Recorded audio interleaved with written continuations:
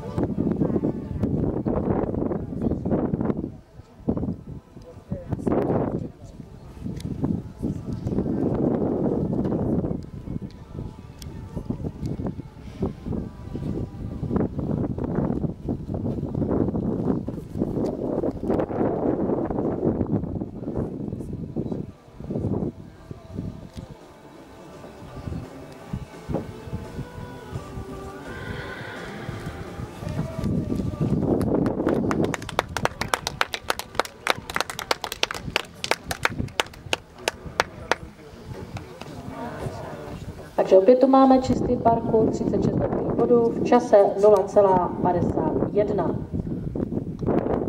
A v dalším startu